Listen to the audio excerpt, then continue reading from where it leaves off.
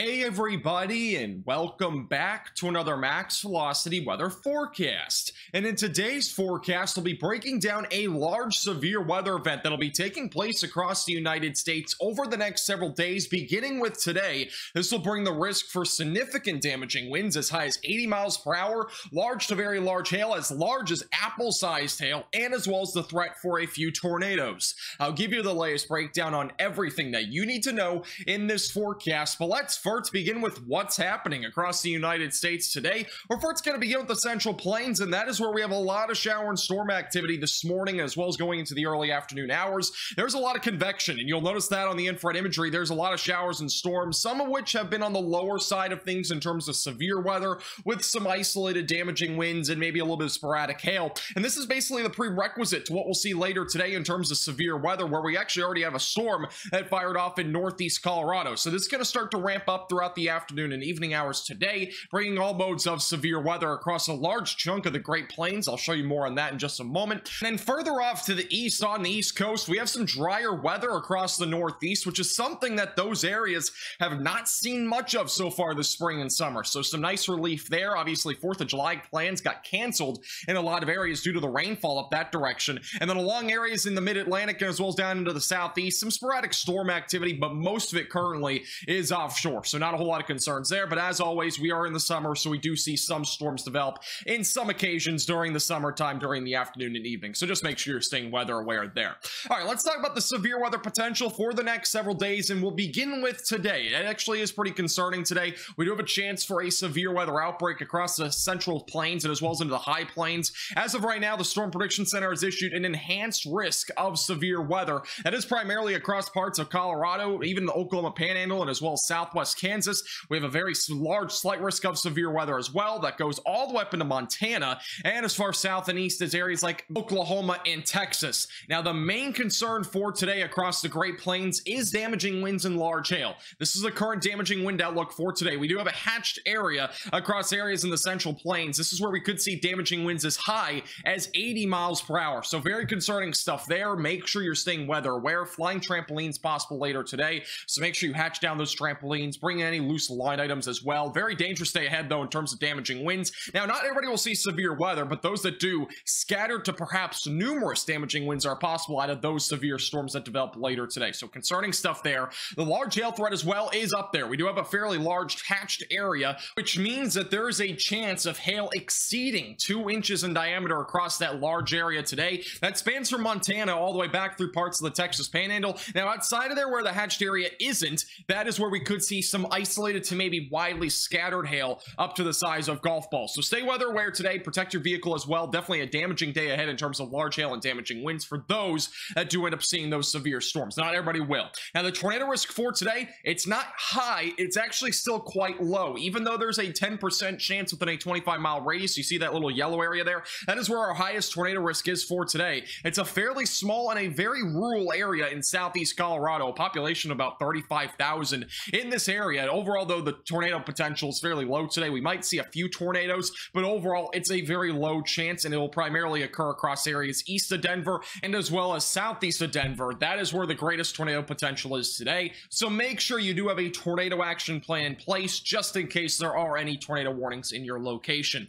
Now, one thing I do want to mention before I show you the severe weather timing is the low level jet. This is what rotates supercells at the lower levels. And one of the most important things about this is that it indicates whether we have a high tornado potential, a low tornado potential, based off of those low level winds, all the shear and whatnot. That is really important to tornadoes developing. And as we go into this evening, as well as into the overnight hours, you'll notice the strengthening of the low level jet, which also another critical thing to point out here is that these winds in the lower levels are going southwest to northeast. That is a favorable direction in terms of the shear that we're going to be seeing in this area, which could increase the tornado risk. Now, again, it's going to be primarily, though, across this area in southeast Colorado. It's a very small area, and I'll show you more on why in just a moment on the timing guide. But this low level jet will still stay strong overnight, but the thing is, this will become a linear line of storms, likely becoming outflow driven. And once we get that outflow boundary going, that is when these storms will be primarily producing damaging winds across areas like Oklahoma and as well as southern Kansas. So the tornado risk will go down, even though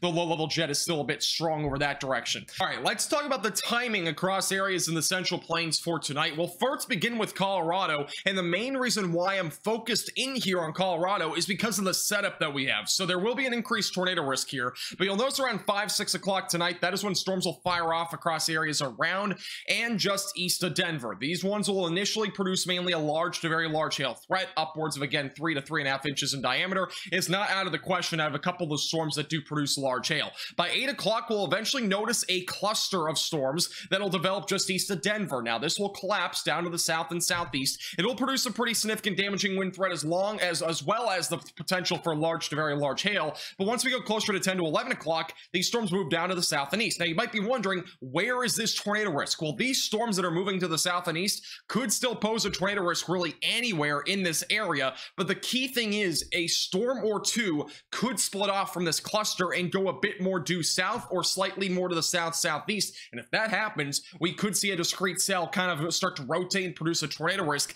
in that area that is in that 10% region. So we want to really watch this area very closely for that increased tornado risk. You'll actually notice this by around 1 in the morning. This is a bit more of a discrete supercell that kind of cuts off from that line.